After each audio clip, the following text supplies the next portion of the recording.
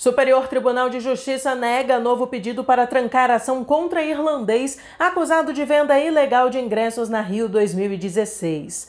De acordo com o Ministério Público do Rio de Janeiro, o empresário Kevin James Malone e outros denunciados formaram uma empresa que foi indicada pelo Comitê Irlandês como a responsável pela venda na Irlanda de ingressos para Rio 2016.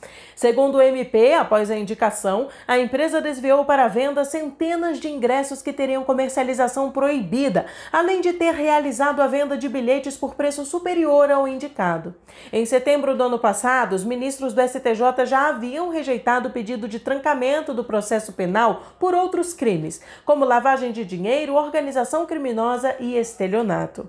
Dessa vez, o relator do recurso na quinta turma, ministro Ribeiro Dantas, destacou que examinar a alegada falta de condições para continuidade da ação penal sobre marketing de emboscada e a ausência de procedimento administrativo para o início do processo de sonegação fiscal poderia configurar indevida supressão de instância, uma vez que o Tribunal de Justiça do Rio não analisou esses fatos. O ministro apontou também que foram apreendidos com o empresário quase 800 ingressos para os Jogos Olímpicos de 2016, entre outros itens que seriam utilizados para a prática criminosa.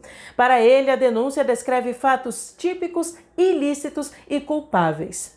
A quinta turma do STJ acompanhou o relator e negou o pedido de trancamento de ação penal pelos crimes de sonegação fiscal e marketing de emboscada contra o empresário.